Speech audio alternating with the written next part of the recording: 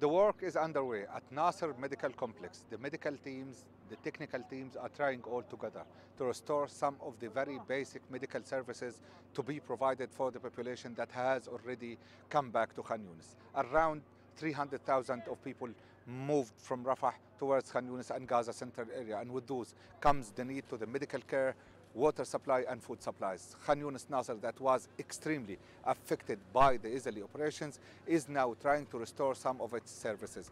Given the situation that is aggravating in Rafah, the uh, Abu, Kam, Abu Yusuf al-Najjar hospital is already out of service, which serves around one third of Rafah area the European Gaza Hospital, according to the statements that were made by the Palestinian Minister of Health, is facing now an imminent risk of full disruption of all medical services. They, uh, that is because of the uh, lack to uh, fuel supplies that have been disrupted for a week now and because of that they are unable to move their ambulances they are unable to move their medical teams they are unable to provide the life-saving medical care that has been disrupted intermittently for the past time and is now threatened of a full stoppage and with that comes the great risk to the life of the people, to the lives of the patients, to the life of dialysis patients. And now in the background, as you can see, people are just